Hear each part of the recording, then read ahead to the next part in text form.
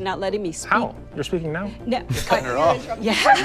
Well, I, Oh, I feel like I have to. yeah. Well, what's happening? Oh, this was the Alec guy yesterday in Hasan's chat. At Hasan, can you see my last chats, please? At Hasan, can you check my last chats, please?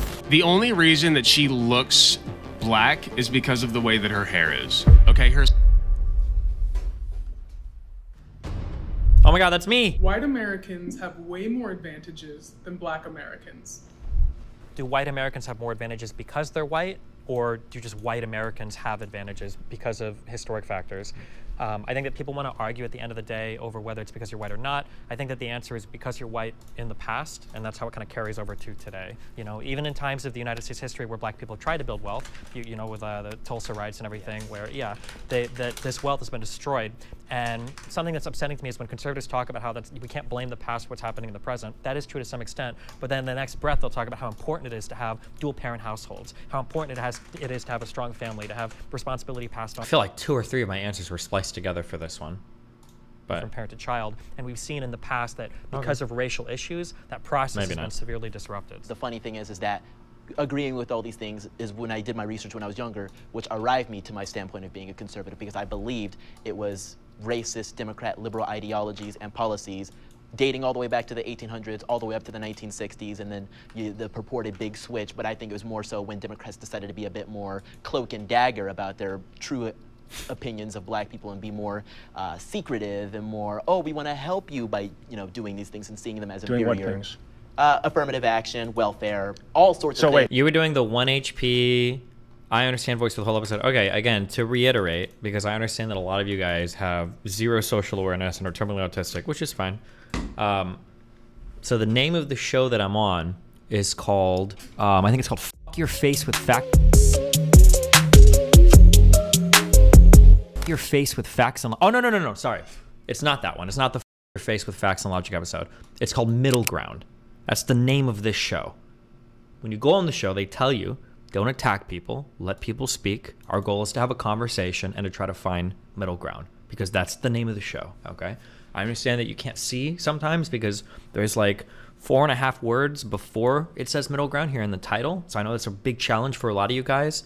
But um, just if you read to the end of the title of the video, you can kind of see maybe why my intonation and my approach to the episode was a little bit more conciliatory than I would be on the your face with facts and logic show. Okay. Can you explain the switch? I'm not from America. I don't understand why it would happen. Party switching and people switching around in platforms and everything is a little bit complicated. Here's the true reality. The true reality is that anybody that appeals to what a political party was like 60, 70, 80, 90 years ago probably doesn't have much of value to say about politics. The reality is it just it's not very relevant to today. Nobody cares what the Republicans Hasn't the Republican Party in the United States existed for like over 200 years? How long has GOP existed in United States? Was founded in 1854. Do I care what the GOP thought of in the year 1854? Have I? Do I care what what a party that was created 180, 170 years ago? Not really. Um, no, I don't. I don't think it's relevant. Uh, if you want to do like a historical analysis or something, maybe if you're curious about thought back then. But I'm not looking. I, I don't think that what a politician said in 1920 is going to be instructive on what the party thinks of today. Um, if you look at the states that were Democrat versus the states that were Republican, right? This is why people talk about a big switch, is because it's hard to imagine that all of these people in these Republican states went ahead and moved to these southern states, and all these Democrats went ahead and moved to these northern states. It seems like there was probably a different adoption of ideas but, um, and platforms between both parties, right? This is why people say there is a big switch. So when people say the Democrats are the racist ones, like, okay, you mean the people in Oklahoma, Louisiana, Georgia, Tennessee, like South Carolina, those, all of those Democrats, like, who do you think those people are today? Who do you think their descendants are today? You think all of them went up and moved to California? Yeah, that's why people say there's a big switch. But again, the reality is like when people say, when people say that like, oh, the KKK, that was the party of Democrats. Who's more likely to be in the KKK today, a Democrat or Republican? Do you think they're voting for Bush or do you think they're voting for Biden? Who, who, who do you think? Like that's why um, anything pre-Nixon is irrelevant to modern politics. Yeah, anything pre-Reagan, like anything pre-Bush Jr. really, because even the neocons to the Republicans today are completely different, right? Because Bush era conservatives are pro big business. They're like tepid on immigration.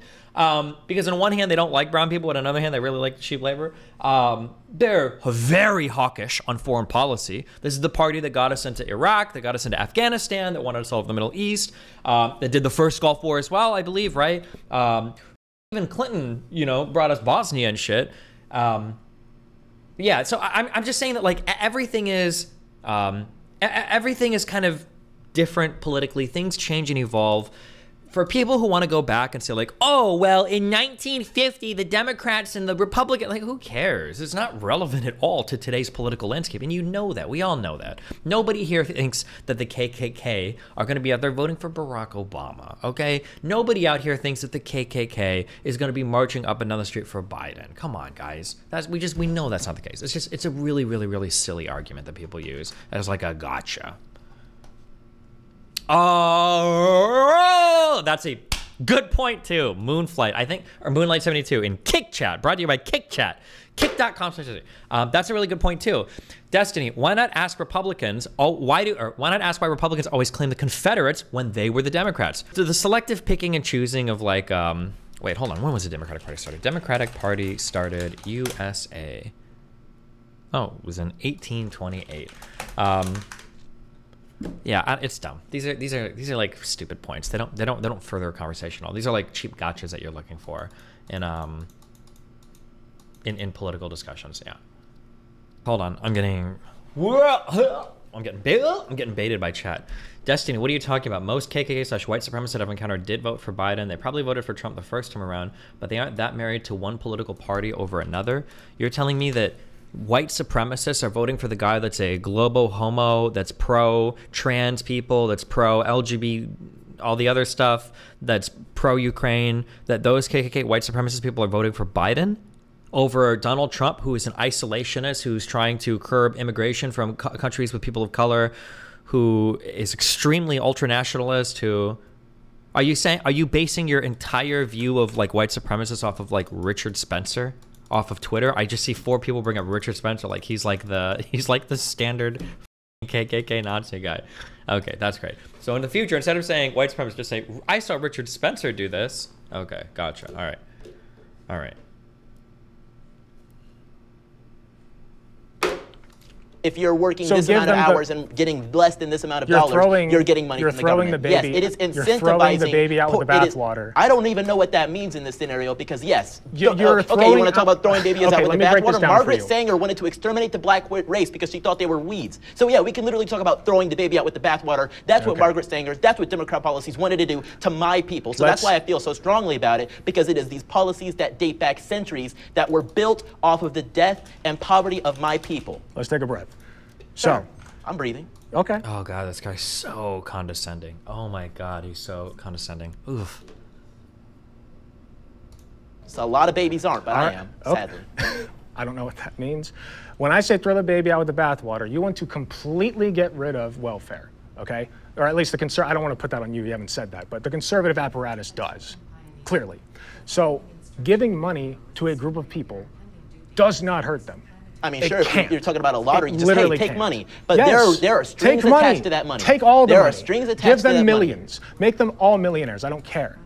Giving money to black people does not hurt them. And that, ha- that has not that- happened, though. Generation by generation, the effects of slavery have been diluted, but generation by generation, the effects of racism, welfare based policies, and things of that nature became even more great. So, in the 1880s or so, when we had our first black members of Congress, which were indeed Republicans, I think that was a great start for things. But obviously, we had terrible things that happened, like the Tulsa massacre, uh, among you know black people being chased out of their homes by the KKK. Sure. All funded by the Democrat Party, all supported by the Democrat Okay, Party. well, I, I mean, I need to stop you there. Uh, can you attribute not to the party? but- Everything. I feel like every. I feel like every single thing this guy is saying, the black conservative guy is saying, is coming from a. Uh, it's got to be coming from like Anthony Brian Logan videos, or it's got to be coming from like because he's like he just rattles off like so many of these hyper partisan hackery points. Like Margaret Sanger wanted to kill all black people, and the original KKK, well, they were Democrats, and the first black conservatives, or the first black people in Congress, they were Republicans, and it's like, bro,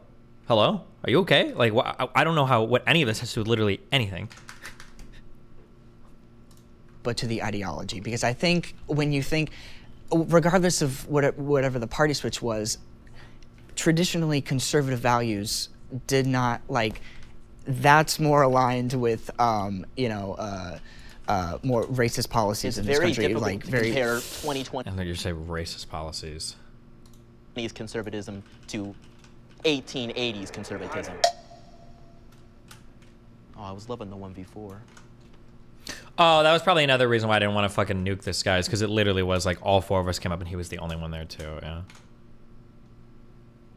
So personally, I feel like there's really only one thing that white people have a true advantage over black people with, and it's that white people are less likely to be forced into a box. It happens with black people onto other black people, but it especially happens with white liberals onto black conservatives, where we are told that we are supposed to think a certain way, be a certain way, and if we're not, then we're called all these names like etc. And the worst of all is bootlicker, because I hate when a white liberal tells me as a black man that I'm a bootlicker, because then I ask whose boot am I? Oh shit! I didn't even connect these. I forgot that he said this. That's like even more egregious. I forgot that he said at the beginning of this that bootlicker was the worst thing to call him, and the guy actually does it. oh shit! My licking because you're telling me as a white person that me as a black person that I'm licking your boot because I don't think in this box that you want me to frame my mentality in that to me is real racism and that's what we need to stop allowing to happen to us because black people are so quick now to not branch out and to have new ways of thinking or to I think as I've gotten older, I, I, I feel like there is a value to being able to talk about the tokenization of certain figures. It's something I still feel, but I lean more and more against that. Like, probably shouldn't box people's political views in a negative way based on some trait about them. So, like, this is why I push back against like probably shouldn't use like the word like Karen. Probably shouldn't use like Uncle Tom or Coon. Probably shouldn't use um, like race traitor. I think generally. Um, I'm sure there we could probably think of examples where it's appropriate, but otherwise I feel like it probably gets in. You're probably just in too weird of an area where you are just like essentially boxing people in to like, well, if you're a race, you are you you know you mandatorily have to have. I don't think mandatorily is a word. Like by you know you're mandated to have certain political views. Um, yeah, I'm, I'm sure we can probably think of examples, but I think that's something I've stuck away from probably for the past year or so or more. Um. Go into careers like agriculture and these other career paths that black people don't typically get into, it's not because of racism stopping them from getting in there. It's because we're told for so long that you have to follow this path and you have to think a certain way. I think America is a great place for a black person. I think I'm an American. Anything that's available to you is available to me and mine. I've personally never experienced white people having way more privileges than me. Like, I'm sure you could find certain institutions where black people are treated differently, but in general, I don't think that I've missed out. This is something that undeniably, even if you're a leftist, progressive, you know, liberal, whatever, the United States is a pretty good country for most people. Um, if the United States is a bad country for anybody, then it's a bad country for poor people. Um, I feel like sometimes progressives are a little bit too quick to fall on their sword and be like, America's one of the most racist countries. America has so many problems with racism. I was like, man, I don't know, dude. Black people have problems in a lot of different countries around the world. Okay, British people are pretty racist towards a lot of people. Uh, you know, French people have a lot of problems with Muslims and Black people, and Africans especially. Like, yeah, like a lot of countries in Europe have a lot of problems with racism. The idea that America is like uniquely bad, or even worse than any, I think America is one of the best countries in the world when it comes to uh, integrating a ton of different type a ton of, ton of different types of people, a lot of different ethnicities and diversities together under one roof. I think we do that probably better than any country in the world. I think that's one of the few things I'm going to do. A diversity is our greatest strength. That's probably one of the few things that the United States does better than I think almost any other country. doubt on anything because of being black. And if anything, it's given me more of a voice because people will want to hear what I say now because I'm black. Singapore does it better, yeah, but Singapore also I think executes you if they catch you with a fucking joint. So fuck that country, okay? I don't care. so if anything, it, I have more of a platform now just on the basis of being a black conservative and saying what's not popular than I would if I was just a white person who was also conservative. I agree with the Supreme Court's decision to end affirmative action.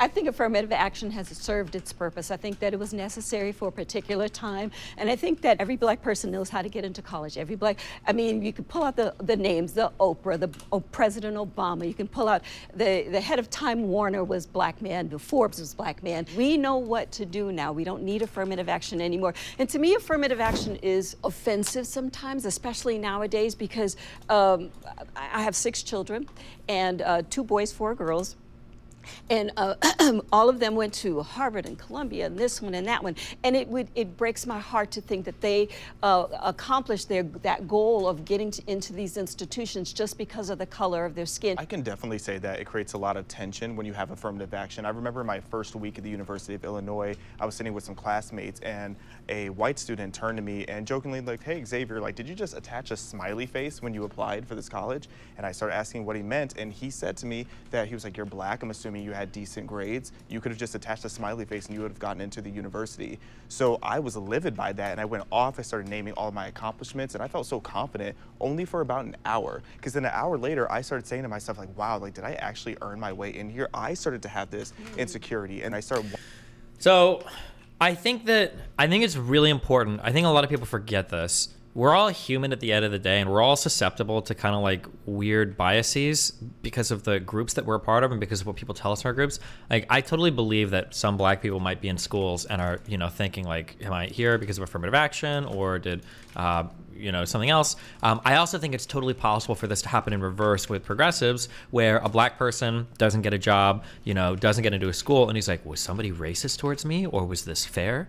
Um, wondering to myself, did I earn this position myself? Would you ever do a deep dive into Russell Brand's videos? Or did my ancestors' suffering earn this for me?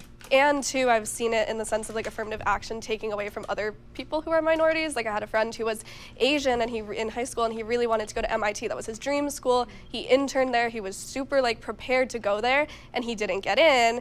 And you can only assume that it was because of affirmative action because they have such a large Asian population that they want to admit other people.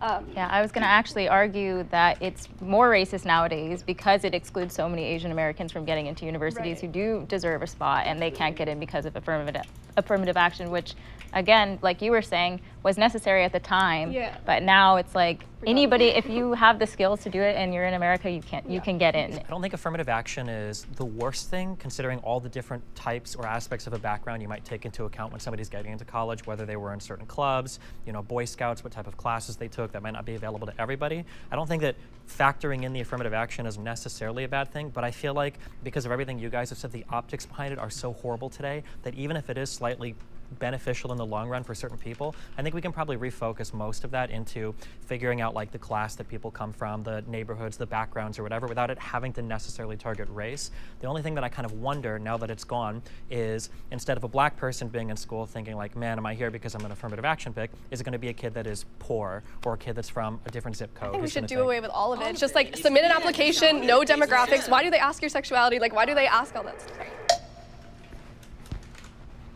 I feel like I had a response to that, but it might have gotten edited. But I don't remember if I had a response to it. I don't want to say I had a response, and then like for some reason the three and a half hour video gets leaked when I didn't. But So, if affirmative action accomplished its purpose, why do we still see the disparities that we do in the professional workplace? If you average white wealth and compare it to black wealth totals, white people as a whole have about 50 times greater wealth than black people as a whole uh, per capita. So I just don't understand why you think affirmative action has accomplished its purpose. I don't see that. Um, why how is it affirmative action's job to completely and totally fix everything? like, is that is that our standard for? do you assume that just because there is a disparity means it's because of a racial issue? What else would it be from? I mean, This guy also is constantly trying to dialogue tree race realism. I don't know if how much that'll come through on this, but in the entire thing, he was constantly trying to dialogue tree. Well, if it's not that, what else explains it? Is it black genes? Is it black genetics? Is it black? Like constantly trying to do this. Let me go rub one sec.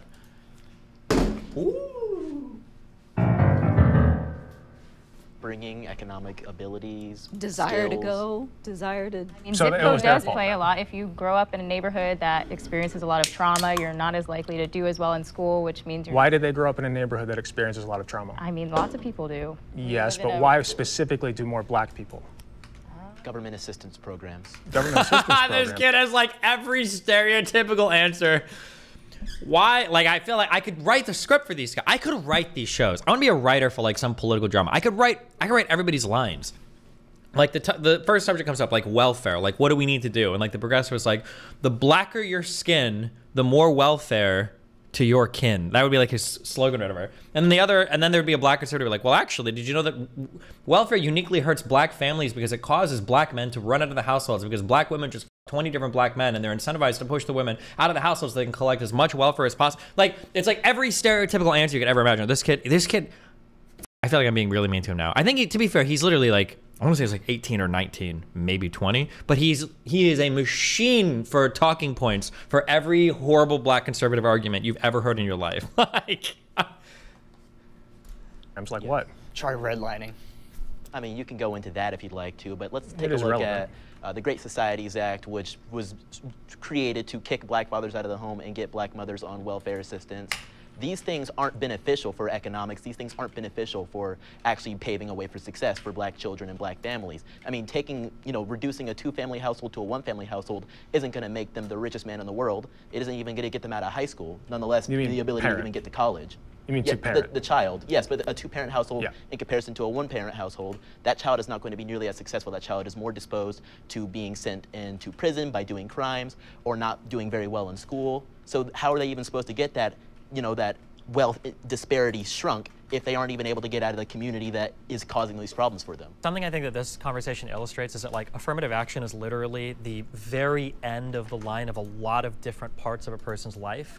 And by that point, trying to rectify all of the inequities that have existed, to try to remedy any of that at the very end with affirmative action, it might just be too broad a brush. And maybe we'd be better served focusing on the earlier issues than trying to throw a kid who maybe you know can barely read at a sixth grade level into a college to hope that that's the thing that fixes the problem at the end of the line. I think affirmative action wasn't really supposed to like send kids to Harvard that weren't prepared to go to Harvard. I think that's quite a myth, in fact.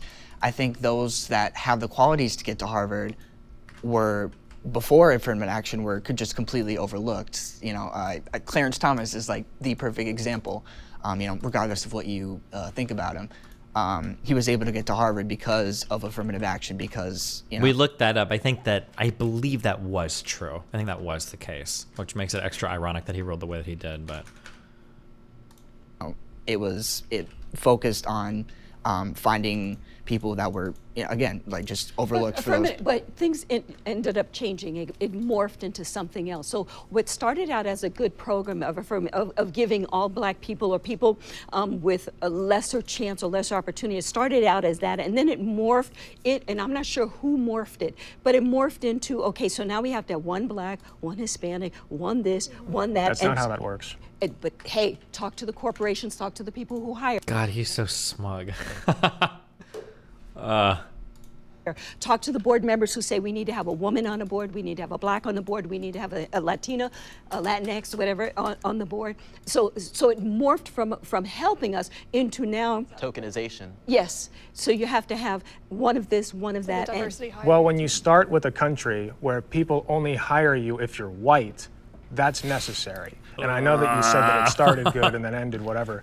And I don't think that affirmative action was perfect by any measure, but we still see really, really bad inequality. So if you're going to get rid of affirmative action, what's the replacement? meritocracy. Is people need to There's no meritocracy Yes, in this there country. You look at Elon Musk; he's destroying Twitter. There's no meritocracy. That's what a he, it's like it's like everybody has the most soy random talking about. It's like how can I shoehorn Elon Musk into this conversation? Like, bro, little bro, what are we talking about? Why? How? What? How, like, what is the relevant? Why? What? Ridiculous. Well, first thing I want to bounce back to is it's not a myth that there are like minorities that are being put into colleges that they're not ready for. If you look at a lot of these top universities, including Harvard, Yale, et cetera, you're going to see a lot of minorities on academic probation because they are being placed in universities that they are not ready for. They are not cut out for that just yet. And it even just makes sense if you look at how much they have to achieve in order to get there. Asian students on average have to score 450 points higher than a black student in order to get in the same university. So if you think of the universities that have courses, et cetera, that, that grade on a curve, you can only have so many people with an A, so many people with a B, etc. So that means that the bottom percentile is going to fail. Who is most likely, just based on logic, going to be the ones failing? It's going to be the people who didn't have the credentials to get there in the first place. And then I have to bounce back to. Uh, I want to I want to get I want to get you on that point Yeah, because get him I would point. posit that the people who are least likely to have good. I That wanna, was the I- fact check on the bottom, 10 seconds back. Oh, wait, did I is miss a most fact check? Just based on logic, going to be the ones failing. It's going to be the people who didn't have the credentials to get there in the first place. And then I have to bounce back to. I want to I want to uh, get I want to get you on that point because I would posit that the Oh, people who are least likely to have good outcomes in an academic setting are those who have to work two jobs, are those who have to drive there from home because they can't afford a dorm, are those who have to go into crippling financial debt. These are the and, and have other stresses in their life. They can't afford a doctor, they can't afford a dentist, they can't afford anything. I had to do so that too, though. those are the That's people. That's not just black people. It's not just. But it's If we're looking at overwhelmingly straight numbers, there a are more white people in poverty than black people. if you look at the wrong numbers, but if The- you I don't know, actually what are the understand wrong what you're talking numbers? about. There- no- He's so condescending. Why would you say that? Also, to be clear, they literally told us, okay, that the show is called Middle Ground. We're supposed to be like pretty chill, okay? That's why I am being very chill, okay? He said raw, not wrong. Oh, did he say if you look at the wrong numbers? But it's on. If we're at overwhelmingly straight numbers, there a are ma- more white people in poverty than black people. if you look at the wrong numbers, but if The- you I don't know, actually what are the understand what wrong you're talking numbers? about. Oh no, I'm talking about the ending part. The thing he said that was mean was that if you actually understand what you're talking about at the end. That's what I was saying. No, no the issue is is poverty wrong. in general, though. I don't think it's like who's in poverty. It's like poverty sucks. It Maybe we shouldn't should make college free. it. Free, and maybe we wouldn't have If you have a affirmative action wouldn't be that necessary. And it'll get even more ghetto. If you have a program that says you are under, if you are under a certain income level, this is how we'll help you. That will overwhelmingly help black people at a far greater percentage than it will help white people. Trump supports Black Lives. What is your take on meritocracy? What is a factor when combined with nepotism and individual circumstance? A true meritocracy is almost impossible, but like keep in mind that when we say meritocracy, people are really only talking about it's like that analogy I just used with vegan gains. People are talking about the end of the track. They're not thinking about all the obstacles you had to jump through to get to where you're at. So when people say meritocracy, they really mean judging somebody based on where they're at at the very end of their journey, essentially, right?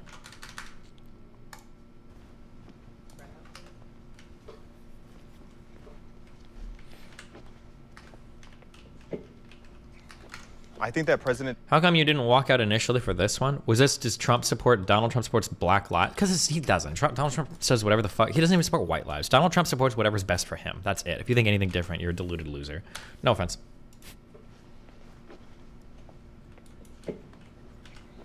I think that President Trump supports all lives. I think that he looks at all American citizens as equal. I don't see him doing anything that would make you feel like he does not support Black lives. Um, that's, of course, going to lead into the conversation of Black Lives Matter, which was a movement and an organization with so much corruption. Donald Trump not supporting that organization doesn't mean that he doesn't support Black lives. It just means that he doesn't support the fraudulent organization that's stealing so much money from so many people to do absolutely nothing with it, nor does he support a destructive movement that is destroying cities, communities, lives, etc. So I don't see why someone would think that President Trump doesn't support Black lives.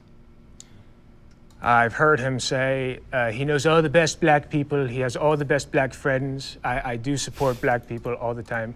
Uh, so sorry, that was a very bad impression, but um, I don't best. think that I don't think Donald Trump wants bad things to happen to black people. So in that respect, I think BLM really nerfed themselves for no reason. The having the um, organization called BLM was just a nightmare of a fucking idea. What a horrible, horrible, horrible organization. Donald Trump doesn't literally want bad things to happen to black people, like I think a lot of conservatives do. So I think that he just says the most. Po- yeah, I do think that. I think uh, the mo- he says the things that will get him Oh, elected. man. So I don't think that he has any personal grudges against uh, certain, you know, most people. Uh, he just says the most popular thing. So I, I think like Ron DeSantis would be, yeah, Ron DeSantis would be somebody that I think think- actually wants black people to be hurt. So by that standard, yeah, Donald Trump supports Black Lives by leaps and bounds. You think Donald Trump says the most popular thing? Yeah. Really? Yes. Then why do so many people hate him? He got elected as president. Yes, he did. Yeah. He didn't win the popular vote.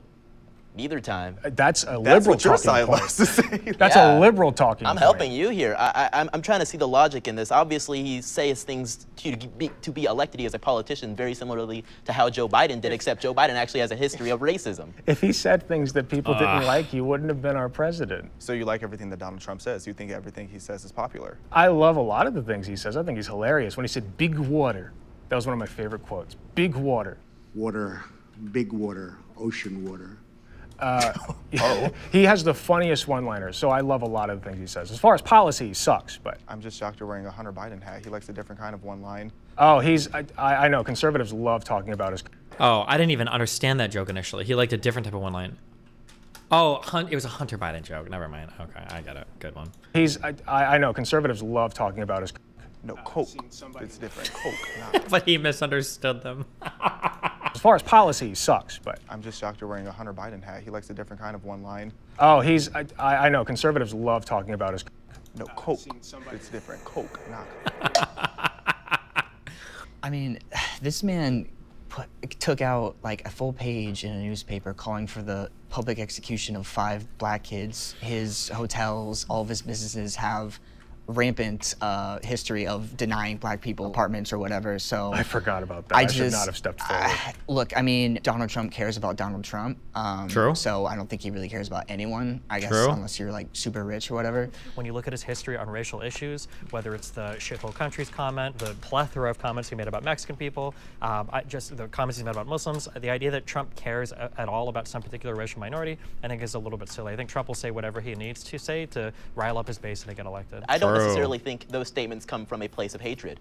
I don't think he was ever saying specifically, oh, if if you pray five times a day towards the east or towards Mecca based on wherever you are, you're a bad person. I think he was saying if you like to fly planes into towers or behead people or throw people off of buildings, maybe you're not the most virtuous person out there. I, I supported Trump because um, all he, he made all of the he made the Oh, thank you, Nacho Mama. I love you, buddy. economy good. And so the economy then impacted black people, white people, Latino people, it, it impacted everybody. But Trump, he didn't think specifically, I don't think, about black people. He True. thought about himself and he thought about True. how can I make America great for me? And, and making Amer- and, and, and I thought, you know what? I'm gonna go with this guy. And the reason I'm gonna go with this guy is because if he can make America great for, and and he can make that r- it rise for everybody, I'm gonna benefit from that. So that's why I went, and that's why I voted for him. That's why I supported him. How does that specifically benefit black people? Again, he has he's a businessman, but he's also a racist businessman, like well documented so. So like I just uh, And Biden's not. Biden's not. When, yes, when he Bi- is. He Yeah. created Yeah. the crime Okay, bill. So So that's but that's that's regardless of the well, point. address the Central Park Five. That's what you brought up, right? How do you feel about that? Well, he took that actually, full page out okay. after they were so so I haven't. he wanted them to be killed, well That is why I didn't executed, just because they were black. That story. and he he d- he bars people from attending his businesses or like renting apartments from all his like stupid Trump towers. I just like I think Trump at that point was like many people in this room, particularly liberals, a victim of the media. I think he was scared. I think he was ashamed of the things that he heard in the news and wanted to take action himself as a businessman, not as a Why are you infantilizing him? I also I Oh don't my like also real quick because people keep bringing up this comparison to the '93 crime bill from Biden. That crime bill, this was at the height of like violent crime and the crack epidemic in the United States. The Congressional Black Caucus supported that crime bill. Everybody in the United States supported that crime bill. The idea that that crime bill was like some racist piece of legislation that Biden was just wheeling out because he hates black people, and that's somehow comparable to the the Donald Trump's treatment of the Central Park Five that were already exonerated. That that wasn't a victim of the media. The media said they were they were done. Apparently, Donald Trump defended the article after the um, Central Park Five were exonerated, but he didn't. Um, apparently, he took that ad out before the trial was finished, though. Just as a heads up. Apparently, I looked this up after. They were exonerated in court. They weren't there. Where, As where I claimed they were understand it, the prosecutor of the of the, the the five, they actually he was a black guy, and so in being a black guy, he went and he looked at all the evidence and said these guys are guilty. Black people can also be racist against other black people, Or people. just make mistakes. So if anybody does anything you disagree with in regards to the Central Park Five, even if they themselves are a black person, they're, oh, they're just a self-loathing black person. They're just a racist black person. If they disagree that with me, they're racist. That prosecutor was doing his job. That's that's my policy. If they disagree with me, they're racist. I like I, I think Trump is, I, think Trump has shown Why? a history of But why, though? ignorant at best and racist at worst behavior. I didn't vote for him or Hillary because I just don't see him as a conservative hero. I don't even think he's a conservative. uh, Fake personally. conservative. I voted Trump in 2016, just so you all know. So we believe I'm you. just saying. So I need to expo- I- I need you to elaborate on if people disagree with you, they're racist, just in general. I was just kidding. He's just pl- Uh, yeah yeah. you never know. Just like One the hat. kind of it's, sorry if I triggered you. I'm sorry. You made No, a I'm not point. triggered. You made a He's so point uh, condescending. a couple minutes back. Sorry you I said, triggered you. um, Triggered conservative. He just kind of says these things to rile up his base. Um, why does he need to do that at the expense of black people then? He doesn't do that at the. I, I am a member of his base, and I'm sitting there like, oh man, this is amazing. And I don't know. You can call me So self-loathing. you calling, can call me self so you're call saying me calling racist. for the can call you public execution of five black men that were exonerated to When rile has he done that base. during the campaign trail? He didn't do that when he was a politician. Well, he did that again, when he was a it's everything. in New York. It's everything bad. Steve said about the comments about Muslims, the comments me. about uh, Mexican immigrants. Why Not- does never he about Mexican immigrants, never about Muslims, about terrorists and about criminals and rapists. I- These are very important delineations to make. And if you believe I that think when you you, offend the media understand, about or oh it's all Mexican it's- immigrants, I think it's more of you being oh man, oh these poor Mexicans, they need to be supported. It's more of that savior complex. Wow, What was we're the back rationale again. behind axing or trying to axe DACA? Were those these people were registered with the federal government? They were in school. They were doing everything that they needed to do. They had no home elsewhere. They were brought into this country as minors. Like, what's the explanation for that? I that? think like, that requires more nuance. Like I mentioned before, I think there were some for people. education. I think Why there were some people feeding him bad policy advice, thinking, "Oh, this will be really good for your base," and he's doing a lot You're as a just president. that's okay. him. That's okay if we feel that way. But So, so end the- if so if I so if I take responsibility for something, if I say he has responsibility for something, well then you're right. But if I'm saying, well maybe there are some people around him advising him fal- falsely, Dude, it's infantilizing. He him. was the president. There's no good way. he do called the him. shots. But if What are you talking about?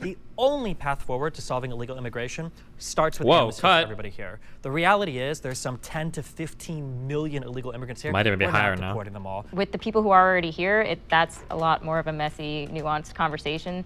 Um, but as far as people coming in, I do think we need stronger borders and actual like vetting happening. And I just want to say, um, in, in Ronald Reagan's day, he was given the promise. He was he said, look, if uh, if you go ahead and you pass this particular bill.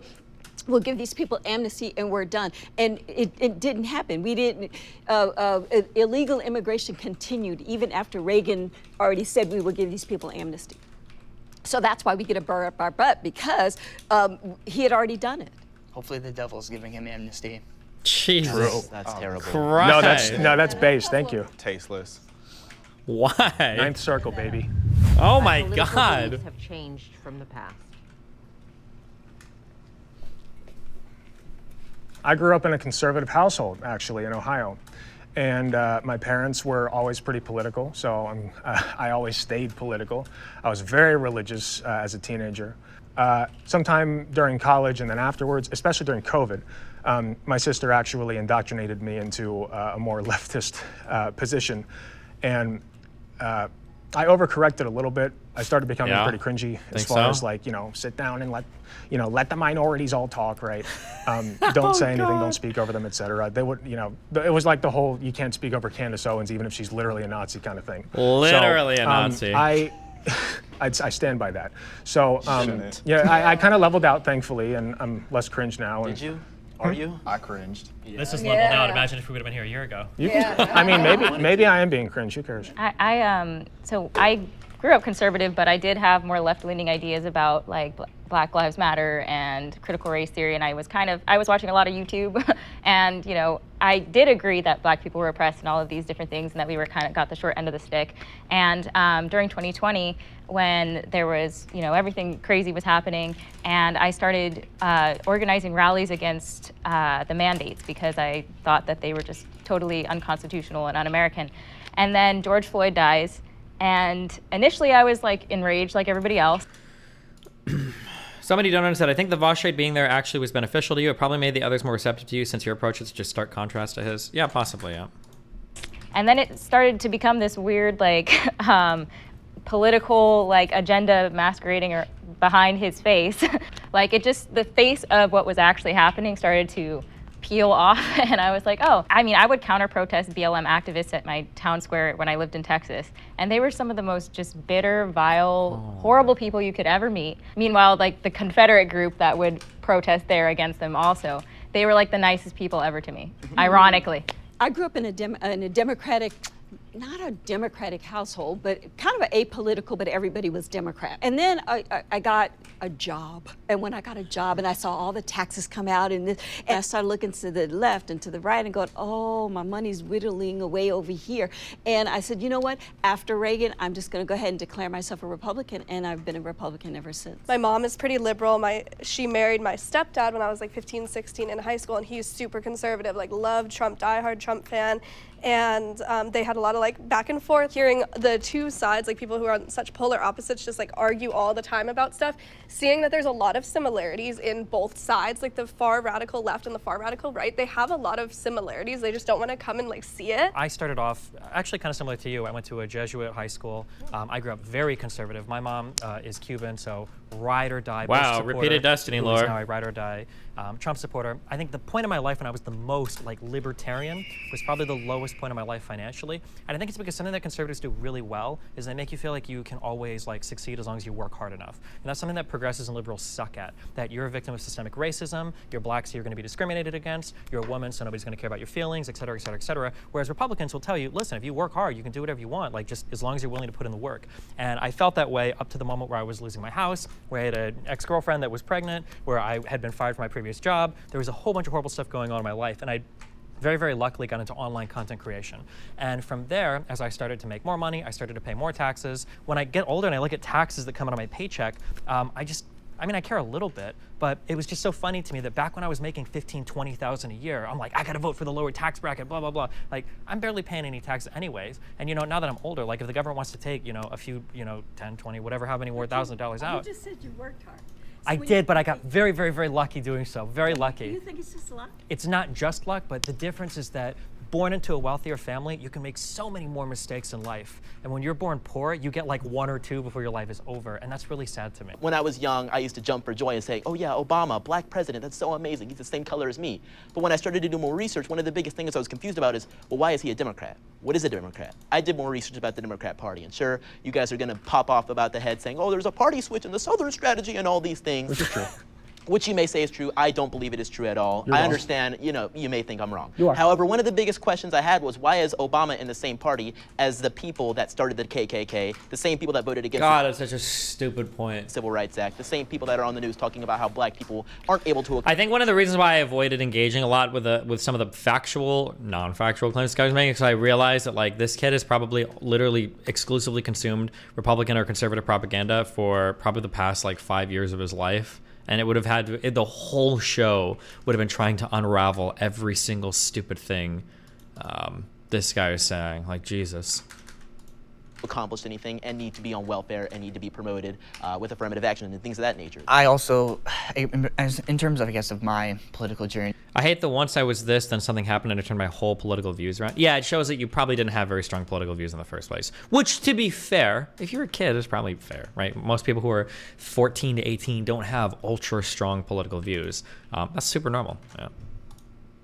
Um, I was uh, raised conservative, actually. Um, and then um, high school became, I guess, sort of apolitical. Uh, and then throughout college, and I guess just throughout my life since then, um, I think I've, I guess you can call me a progressive, you can call me, you know, socialist, whatever you. Um, but um, I guess that's, I guess, in the area of where I fall. Um, you said that you were um, a Bernie fan in 2016, and then you transitioned to being, I guess, more conservative. Um, I guess I don't know. To me, Bernie Sanders, um, from what he said to what you think now, what was the the shift?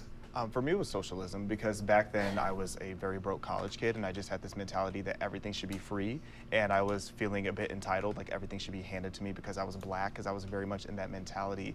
As I learned more about free markets, as I learned more about capitalism, I started to appreciate that much more. I started to appreciate small business much more, um, limited government, low regulations. I just started to like that much more. But I would say just more when it comes to economics, I don't agree with him. Reparations are necessary.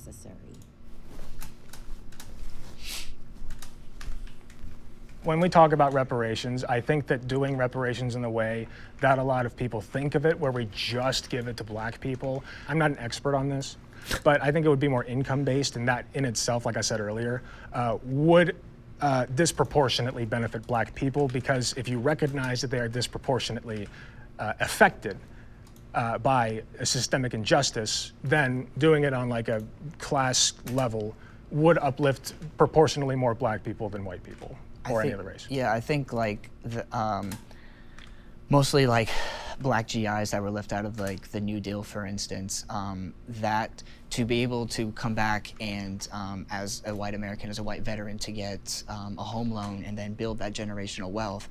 Um, you could not get that as a black American. Um, so there needs to be, I think, reparations. I don't care really what form it comes from.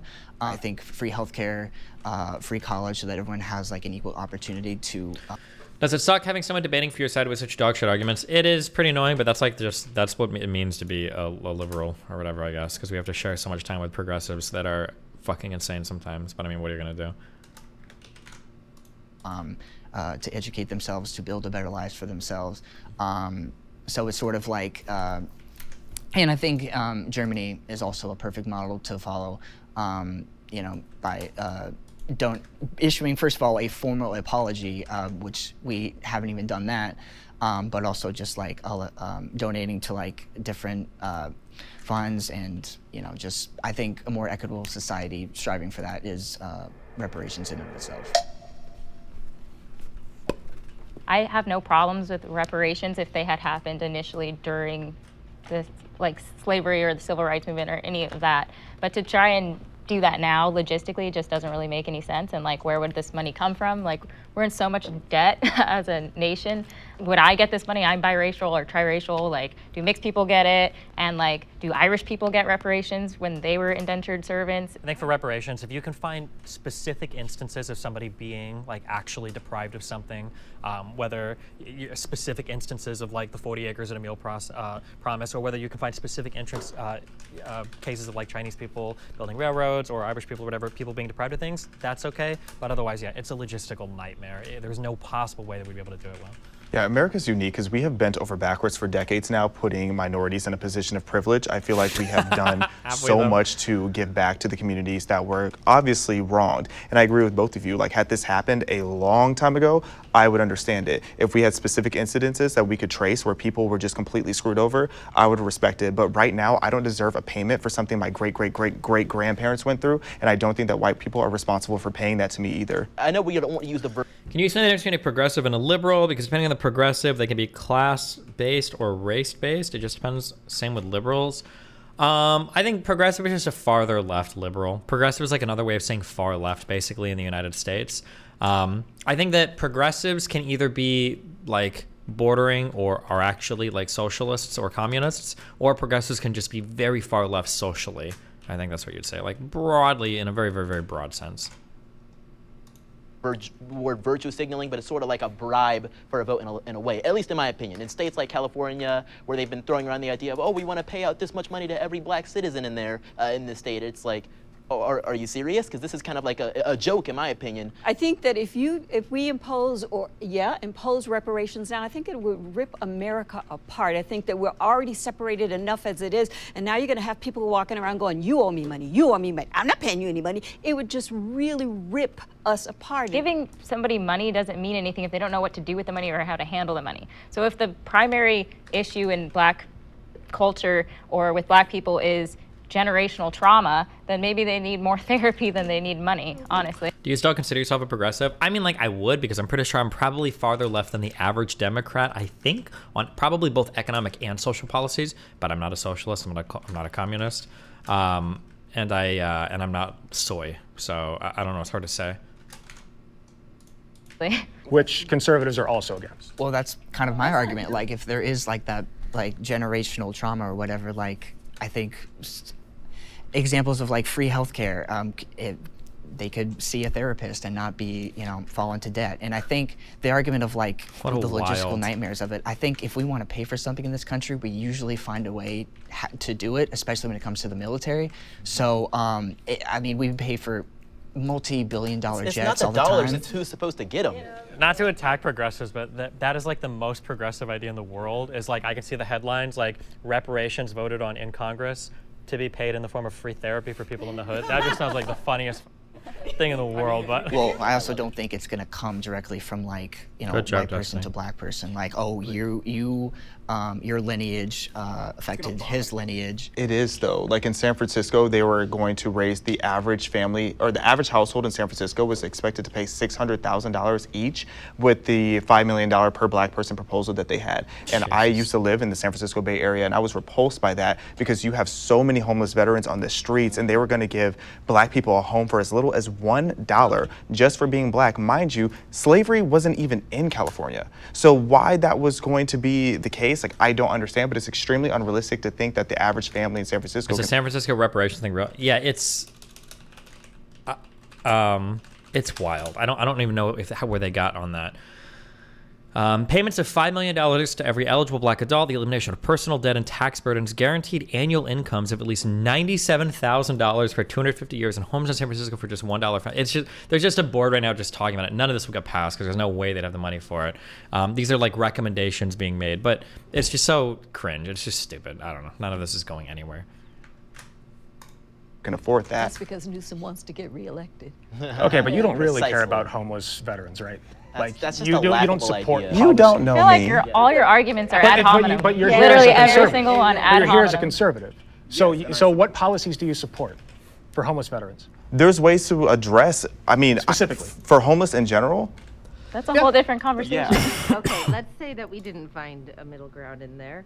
Yeah. All right. Um, but that's a great ending note. She had to stop us so many times because the Alec guy was fighting so much with people. It was getting really awkward. They had to keep it like, hold on, let's chill, let's bring it back. Well, let's do this. Hold on, let's stop here, guys. Like, it was like, I was like, oh damn.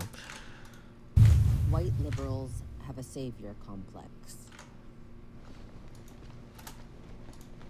Oh, I think this is the first question they asked us, first or second, maybe. I don't remember.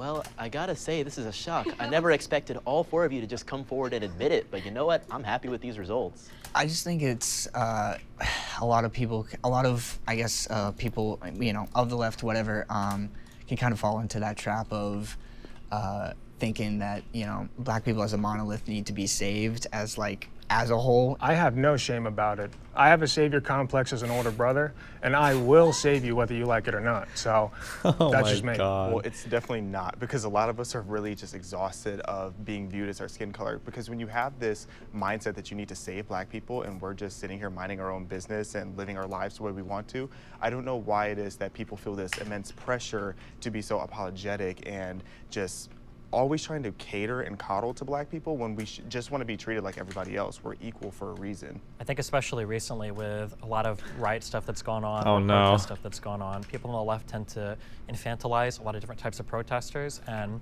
especially even talking to, you know, some of the other black content creators I do content with.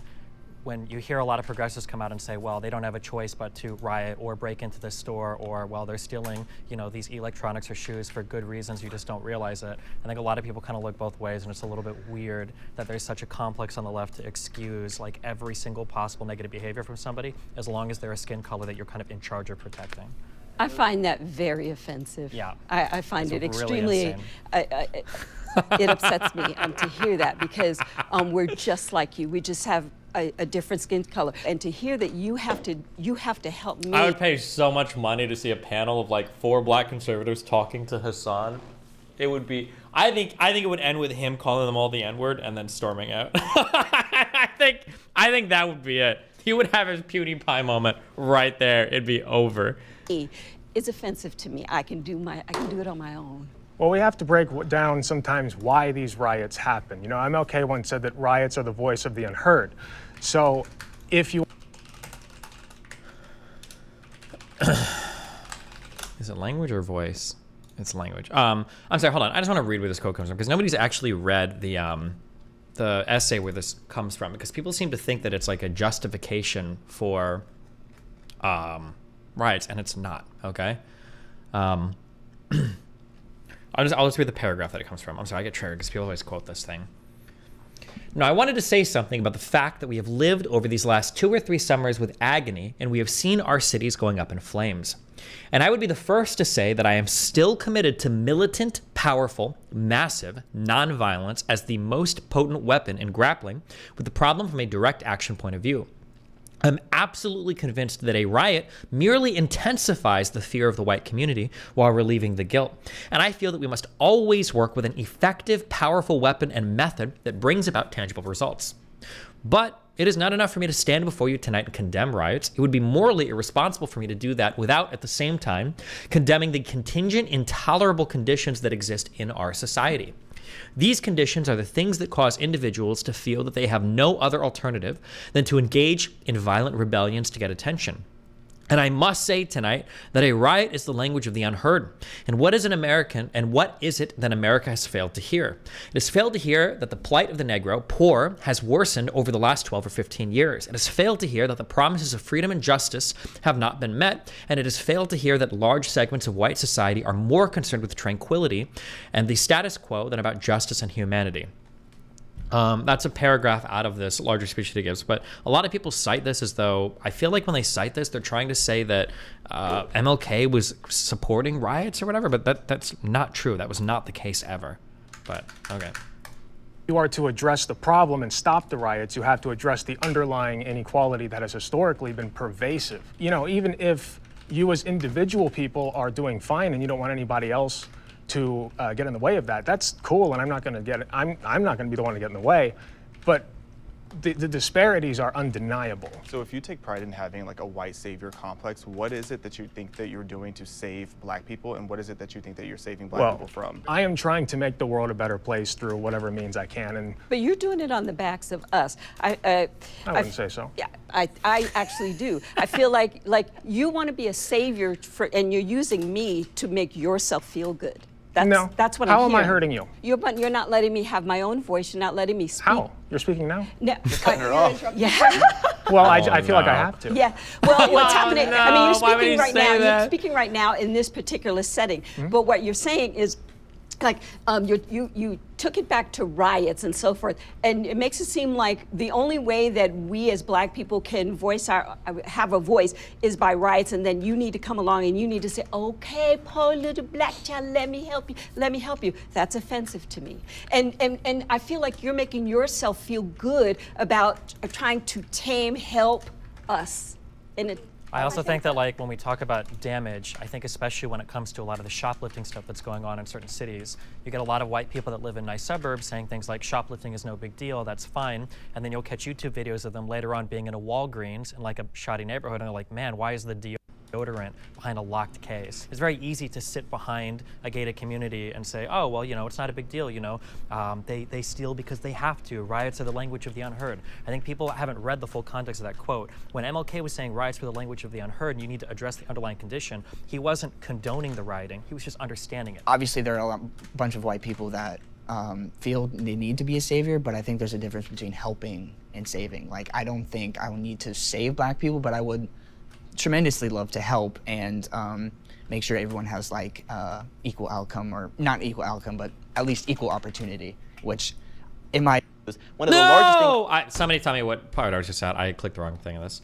Hasan heard this and said he lives in a high crime area. Does he not know that we can see where he lives? Does he not know that we know that he lives in? Am I? I don't know if I'm allowed to say if it counts as doxing or not. Thirty-two minutes or something. People I or any other race. Yeah, I think disproportionately benefit black people. Be- Bernie's guys are going to pop off about the head saying, oh, there's a party switch in the Southern strategy and all these things. Which is true. We're virtue signaling, but it's sort of like a bribe for a vote in a, in a way. At least Girls have a savior complex.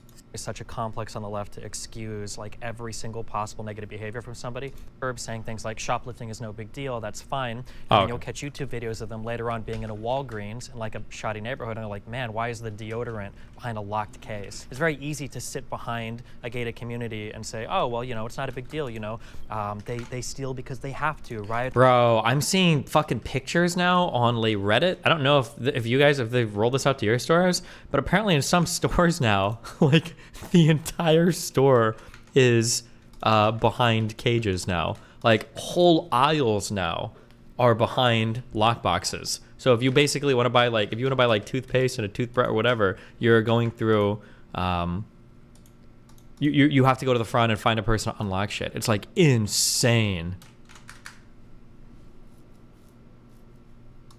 It's the language of the unheard. I think people haven't read the full context of that quote. When MLK was saying riots were the language of the unheard and you need to address the underlying condition, he wasn't condoning the rioting, he was just understanding it. obviously there are a bunch of white people that um, feel they need to be a savior, but I think there's a difference between helping and saving. Like, I don't think I would need to save black people, but I would tremendously love to help and um, make sure everyone has like uh, equal outcome, or not equal outcome, but at least equal opportunity, which, in my opinion, I feel we do not have in this country.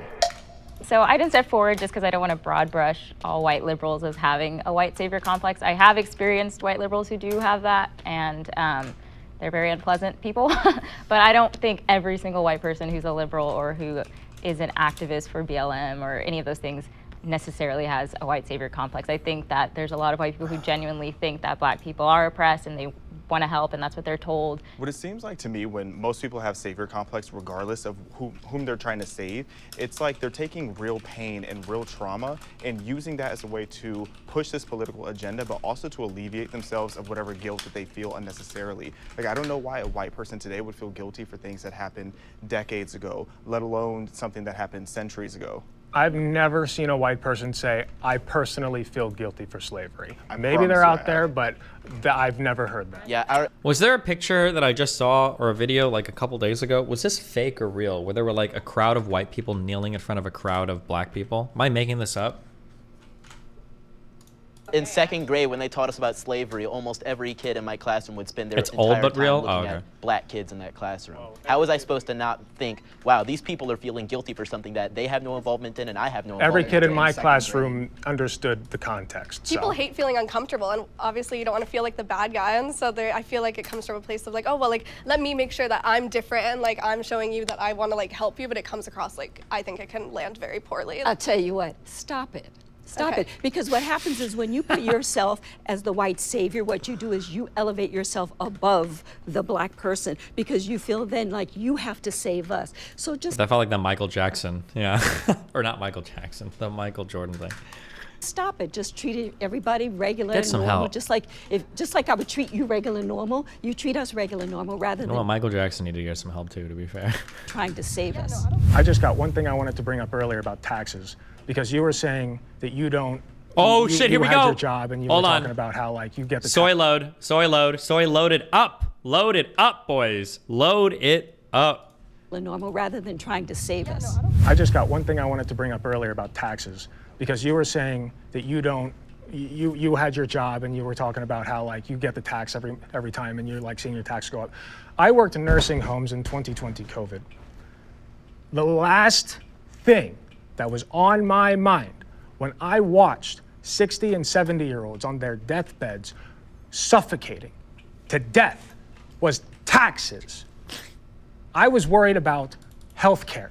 I didn't give a shit about taxes in that time. So when I go to work every day, that's what I see. That's what I want to fix.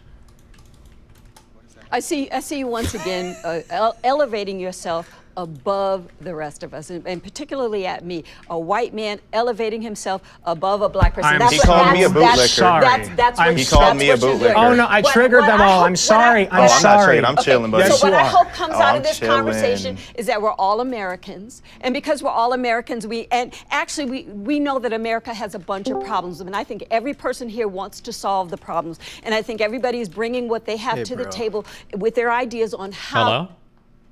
Hey. Hi. Honestly, at this point uh, in the conversation, I think both sides are kind of cringe. Um, what was the bootlicker thing in reference to? Um, the black conservative guy with the facial hair. Is he the only one with the facial hair? I don't remember his name.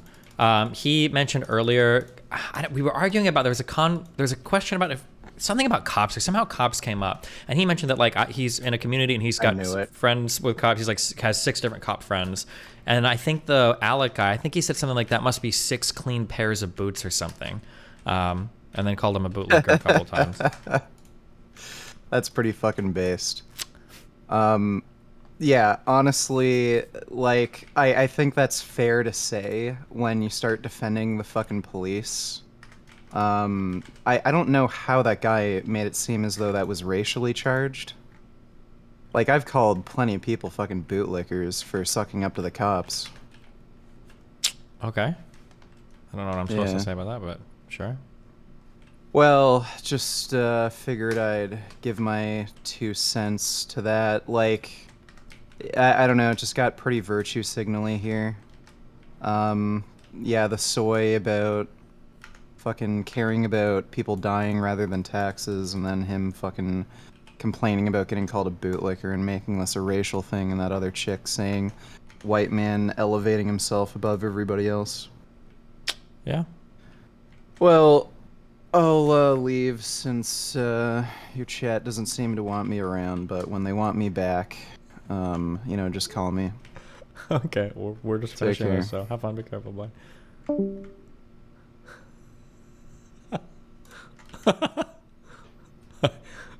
He's tenacious. I respect it. to get us to unify. This kind of stuff, eh, right? But you got something in there. Hopefully, I mean, I'm going to give you the benefit it, benefit of the doubt that you have something in there that's redeeming about you that would bring all of Americans together. So I hope that we end on the note of American. UNITY. I, I would like to say I- we're all made in the image of God, and so we're all have our inerrant worth just because we're made in His image, and we should treat each other as fellow image bearers, not just by the color of our skin. I mean, as Martin Luther King said. He also did not like capitalism. I think something that's really challenging. I feel like MLK went back and forth on socialism, capitalism, but I think at the end, I'm pretty sure he was not a fan of socialism. But I'd, I'd have to go back and check that. But I don't think he was a fan of socialism at the end. Challenging. Um, I've definitely been guilty in the past of throwing around the Uncle Tom word. Uh, I used to be hardcore progressive. I'm still relatively progressive. But something that I've learned as time has gone on is being a white person isolates you from a lot of the different types of racial struggles that people go through. And those struggles can take a lot of different forms. Not just, you know, was my ancestor a slave and not just is my culture bad, but sometimes in the way that, you know, people grow and develop, right? Like, um, am I actually choosing these political beliefs because they mean something to me or is it because I'm black or my parents are black?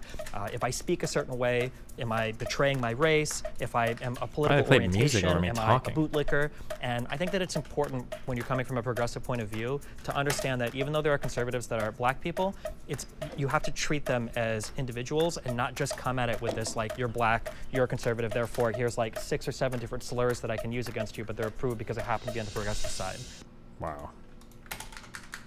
I can't believe they cut a three and a half hour convo down to 45 minutes. That's wild. This was the Alec guy yesterday in Hasan's chat. Oh, he's trying to get his attention so much. I'm driving home from work, so I can't respond for a bit, just for your information. Still listening, though. Wait for a chat. Okay, Hasan, I'm at home. This is another L take. I was trying too hard to just own it, and it didn't come off well at all. I fucked up really bad here. See my last chat. Also, want to say, watching this is like watching someone else who has control over your body. I don't know why I said some of the things I did in the moment. It's bizarre. I've beat myself up over it a lot the past couple days. At Hasan, can you see my last chats, please? At Hasan, can you check my last chats, please? Wide people happy.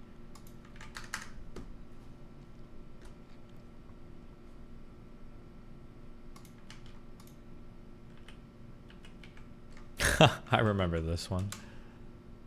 Hi. Hello, hello, hello. Nice to meet you. Hi, I'm Nancy. Nancy. That's my mom's name. My dad named me after my great aunt who was a slave. Okay, I'm sorry. Wow.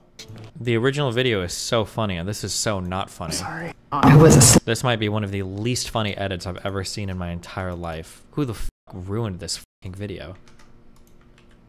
Destiny, look at this. And as we stand right here, when we know George Floyd, Floyd, when we know he's still gone and he no longer can be here, in honor of his legacy, we're not rioting, God. We're not shaming anybody, God. We're just humbling ourselves before you. Yes, Lord. You brought the thundering rain today, God. Because Satan takes an L today. Father, in Jesus' name. Did he say Satan takes an L today? Because Satan takes an L today. Father, in Jesus' That's at least two years old? Gotcha. I mean, I see June 4th, 2020, so. for forgiveness from our black brothers and sisters, Lord. Black people got on these as well. Don't be fooled. Listen, I'm good on all that, okay? Someone in comments on Reddit said it's just what this church does. Black people kneel too. Oh, that could be true. Now that you have a little mutual interest with Shapiro, you're gonna reach out for a discussion. Yeah, I'll try to set something up. I've had one person reach out who's supposedly mutual, so. About terrorists and about criminals and rapists. I, to These clarify, I do watch Vaush. I love that guy. Okay. Uh, to whoever asked. Apparently, this was the other guy. Not gonna lie, kind of hurt you thought I was a lib despite my takes on here, but also I get it. I definitely have that look to me. But like I said, I do owe a lot to you in terms of my political growth over the years because it actually. I'm not gonna lie, kind of hurt. He copy pasted the poster three times. At Hasanabi, he took pictures with the conservatives after the shoot. Wait, why is he talking about me? I owe you, Bernie, and Michael Brooks for where I am today politically. Oh, Jesus.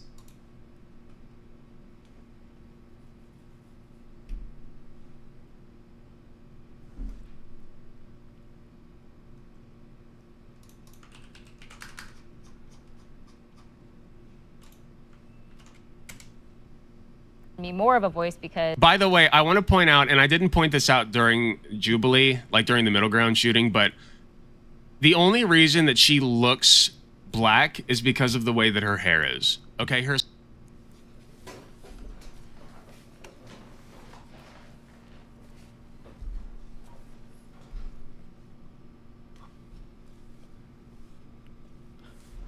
What?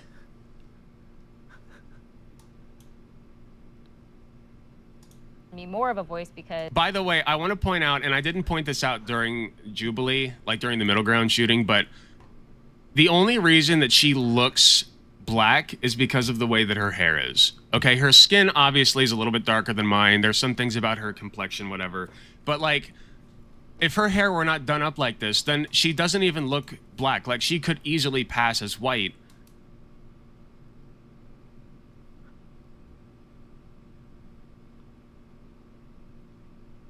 And so if she just has like straight hair and she's walking around, then of course she's not going to feel the effects of ra- of systemic racism as much as like somebody like this guy. Right? Like am I crazy? She's like um I don't even really see it in my life. Well, yeah, if you don't wear your hair like that, you wouldn't have to now, would you? Anyway. Because people will want to hear what I say now. Be me more of a voice because By the way, I want I feel like I feel like she'd still be seen as black. Now I need to see her with straight hair. Somebody link her Instagram. Or some does she do con I don't even know. She might be a normie. I don't know if she does content. I feel like this person would be treated as a IGs are linked in the Jubilee video. me more of a voice because By the way, It's tough. Definitely a Vaush fan. They got you locked up for life, my boy.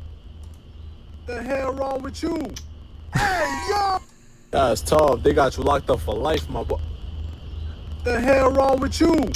Hey, yo!